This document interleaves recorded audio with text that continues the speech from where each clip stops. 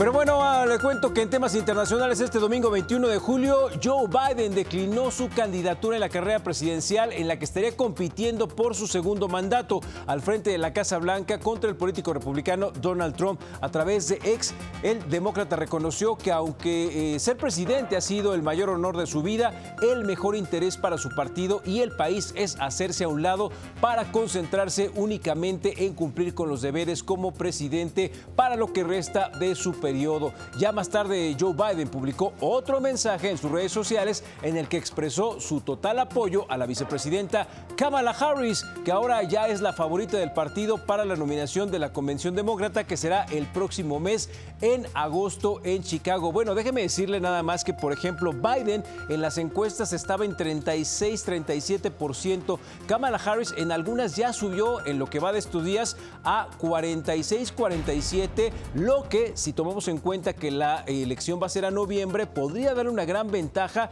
frente a Donald Trump. No sé si para ganar, pero al menos como decía Nancy Pelosi, sí para ayudarle a que el Congreso beneficie a los demócratas. Y bueno, todo esto ocurre luego de que el pasado 27 de junio, durante el primer debate presidencial, Joe Biden perdiera el hilo de la conversación en varias ocasiones, diera respuestas sin sentido y evitara responder a los ataques que le lanzaba el republicano Trump. Y bueno, las reacciones a este anuncio no se hicieron esperar Ahí tenemos lo que dijo el presidente Barack Obama, publicó un artículo donde reconoció que Joe Biden entiende mejor que nadie lo que está en juego en estas elecciones y que todo lo que representa el Partido Demócrata está en riesgo si permite que Donald Trump regrese a la Casa Blanca. También admitió que observar el panorama político y decidir pasarle la antorcha a un nuevo candidato seguro fue una de las cosas más difíciles en su vida. Horas más tarde, la actual vicepresidenta Kamala Harris lanzó un comunicado a los medios donde dijo sentirse honrada de contar con el apoyo del presidente y de su intención de ganar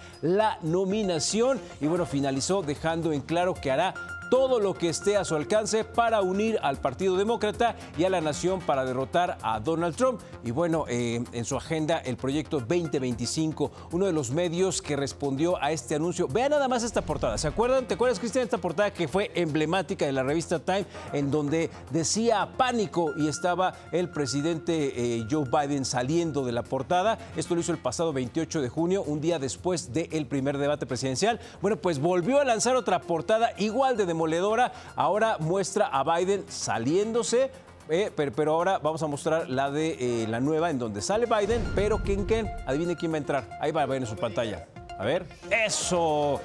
Imagínense nada más ahora con la revelación de eh, Kamala Harris, este momento, el 21 de julio, Time hace esta portada en donde lanza la otra mitad, donde está el cuerpo de Biden ya de salida, y la llegada ahora de la vicepresidenta. Vamos a ver cómo se ponen las cosas.